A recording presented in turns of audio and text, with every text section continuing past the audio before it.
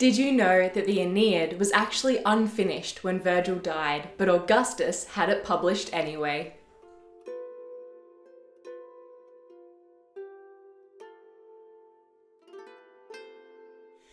Hello and welcome to World History Encyclopedia. My name is Kelly and today's video is all about the Roman epic poem, the Aeneid. Don't forget the easiest way to support us is by giving this video a thumbs up, subscribing to our channel, and hitting that bell icon for notifications so you don't miss out on any new uploads. If you haven't already heard, World History Encyclopedia has teamed up with Andante Travels to bring you the Treasures of Ancient Greece guided tour. Join our expert tour guide, Dr. Rita Roussos, as she takes you on a journey through classical Athens to Delphi, across the Gulf of Corinth, and into the Peloponnesian Hills, where the hero Hercules began his 12 labours, and King Agamemnon set out to rescue Helen and capture Troy. Make sure to visit worldhistory.travel or hit the link in the description below to learn all about this amazing trip, and we hope to see you there. The Aeneid was written by the Roman poet Virgil, who lived between 70 and 19 BCE during the Augustan period, named for Augustus, the first emperor of Rome. The 12 book long epic poem tells the journey of the Trojan Aeneas and the mythological founding of Rome.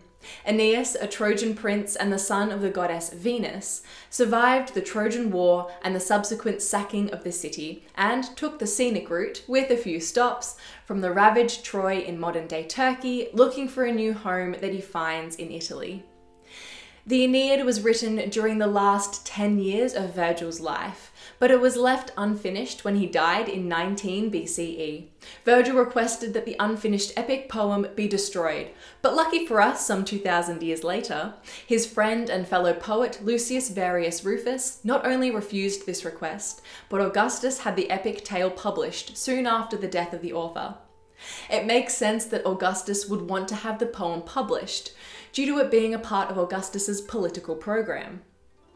The Aeneid is a mythological tale that details how Rome began and eventually connects to Augustus in the present and encourages those reading it to relate the protagonist, Aeneas, with Augustus, who believed that Rome was suffering from moral decay and wanted to return to the values of old. So, who was Virgil? With his full name being Publius Vergilius Maro, Virgil was one of the greatest poets of the early Roman Empire. According to the 5th century CE author Macrobius, Virgil was born to two country parents and had a passion for the rural life that never left him. He was described as a tall and bulky man with a dark complexion. His father was a citizen, but Virgil didn't attain citizenship until 51 BCE. He was educated in Cremona and Milan, and through his early education, he developed an appreciation for Greek and Roman authors. By the time he was 30, the Roman Republic was in a shambles after the assassination of Julius Caesar and the civil war Octavian was embroiled in with Mark Antony and Cleopatra VII. Virgil ended up finding a patron in a wealthy Roman named Gaius Cilnius Maecenas, who was both a friend and an advisor to the emperor. Eventually, Augustus became both a friend and a sponsor of Virgil, and Virgil would spend the last 10 years of his life writing his epic work that never got completed. The Aeneid includes themes like conflict and renewal, which reflect the war and strife the Roman Republic had been enduring before the establishment of the Roman Empire and the peace known as Pax Romana that accompanied the rule of Augustus. The epic is like a continuation of the Iliad and the Odyssey, which were composed much earlier as part of the ancient Greek oral traditions, and then committed to writing in the 8th or early 7th century BCE. And the Aeneid shows many similarities to its epic predecessors. The first six books of the Aeneid follows Aeneas as he leaves Troy with other Trojan survivors and travels around the Mediterranean at the mercy of the gods, much like Odysseus and his adventure-packed journey home. In the latter half, the Aeneid focuses on warfare and battle, and once again is reminiscent of the works of Homer. In particular, the funeral games held for Anchises in Book 5 can be easily compared to the funeral games put on for Patroclus in Book 23 of the Iliad. Just as Odysseus makes a journey to the underworld before departing Circe in Aiaia, Aeneas also descends to the underworld, where he sees his father and Dido, the former queen of Carthage. Similar to that of the Iliad and Odyssey is the theme of divine intervention and the mortals being stuck at the mercy of the gods. As Aeneas searches for a new place to call home, he is aided by his mother Venus and Jupiter, the king of the gods. But Juno, on the other hand, actively plots to stop him from arriving in Italy and setting up the foundations of Rome. This tale of the Aeneid blends the mythological origins and the historical beginnings for the Romans, which help to explain the world around them. Arms and the man I sing, who first from the coasts of Troy, exiled by fate, came to Italy and Lavine shores, much buffeted on seas and land by violence from above, through cruel Juno's unforgiving wrath, and much enduring in war also, till he should build a city and bring his gods to Latium, whence came the Latin race, the lords of Alba, and the lofty walls of Rome. This is how Book 1 of the Aeneid begins, closely followed by an invocation of the Muse and in media res, which is the Latin for in the midst of things, and is a common technique used in epic poetry. The goddess Juno has sent a storm to destroy the ships of the Trojans, and so they end up on the shore of an unknown land, which just so happens to be the coast of Libya, near the city of Carthage. The Trojans are met by the queen of Carthage, Dido, who welcomes them to her city. At this point, Aeneas and his men are many years into their journey to Italy. All the while, Venus, who is worried for her son, begs Jupiter to help Aeneas, and both Juno and Venus scheme to have Dido and Aeneas fall in love, despite Aeneas being fated to found a great empire in Italy. Venus sends Cupid to make Dido fall in love with Aeneas, and during a banquet given in honour of the Trojan guests, on the request of the queen, Aeneas tells the story of the fall and sack of his old city. While he's with Dido in Carthage, he recounts how the Greeks pretended to leave the shores of Troy, leaving a great wooden horse, apparently as a gift to the gods in exchange for safe passage home. But actually, Greek men were hidden in the horse, and the Greeks stayed in their ships close to Troy but out of sight. Despite warning from Laocoon, the son of Neptune, not to trust gifts from the Greeks, the Trojans brought the horse within their walls. In the dead of night, the Greeks pour out of the wooden horse, open the gates to the city, and destroy Troy. Aeneas tells of how he saw Achilles' son, Pyrrhus, also known as Neoptolemus, kill Priam's son, Polites, at his father's feet, and then go on to kill Priam, the king of Troy.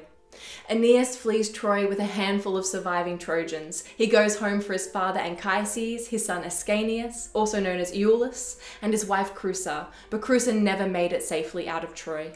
Aeneas hoists his father onto his shoulders, and with his son and a small group of Trojans, they make their way into the mountains. The Trojans then travel for six years across the Mediterranean and endure many hardships until they finally arrive at Epirus. Here they are welcomed by another group of Trojan refugees led by Helenus, the brother of Hector, Prince of Troy, and Andromache, Helenus' wife and Hector's widow. This group of Trojans had built a smaller scale version of Troy, but Aeneas knew his destiny was to found a brand new city. So his group travelled on to Sicily and then south of the island to avoid the sea monsters Scylla and Charybdis.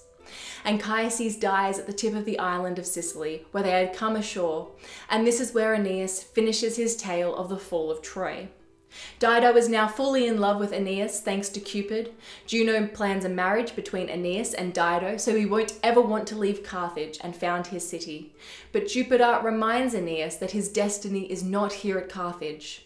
Aeneas puts his duty to found a new city above his love for Dido and leaves her. Dido, in heartbreak, builds a great pyre to burn objects left by Aeneas, but ends up throwing herself on the burning pyre. Upon her death, Dido curses Aeneas and calls for eternal war against him and his people, which is somewhat of an explanation for the Punic Wars and for the Romans' complete destruction of Carthage in 146 BCE.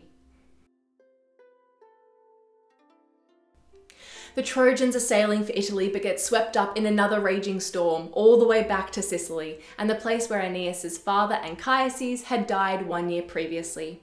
Aeneas honours his father with funeral games and performs for the very first time the Parentalia, which is the Roman festival of the dead. Aeneas leaves the women, the elderly, and the children in Sicily with Acestes, who hosted them the first time they visited in his city. And Aeneas and his men get back on the ships to Italy, losing his steersman Palinurus on the way. Finally, in Book 6 of the tale, Aeneas makes it to Italy. He lands in Cumae, near modern day Naples, and consults the priestess of Apollo, the Cumaean Sibyl, who guides Aeneas to the underworld.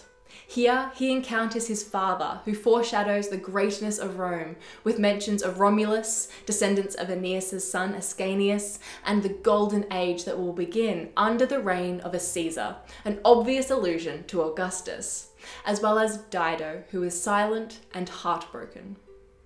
Aeneas and his Trojans sail into the mouth of the Tiber River, and there they settle in Latium. The king of Latium, Latinus, welcomes the Trojans and offers his daughter Lavinia's hand in marriage to Aeneas. King Turnus of the neighbouring tribe of Rutuli was vying for Lavinia's hand in marriage before Aeneas turned up, and Lavinia's mother Amata supports him. Juno decides to stir up some trouble and sends Alecto down to not only persuade Amata to oppose Lavinia's marriage to Aeneas, but whips Turnus into a frenzy and pushes him to go to war against the Trojans. Aeneas then travels to the village of Pallanteum, which will one day be known as Palatine and is one of the seven hills of Rome. And there he meets Evander, who recounts the tale of Hercules, who saved them all from the monster Cacus, the fire breathing giant and son of Vulcan. Evander sends his son Pallas and some of their cavalry with Aeneas to claim leadership of all the other armies that are against the Latins. Whilst Venus, who is concerned for her son, asks Vulcan to make him some new armour, including a shield that tells of the future wars of Rome. Whilst Aeneas and Pallas are gathering up the armies, the Trojans are attacked by Turnus and the Rutulians.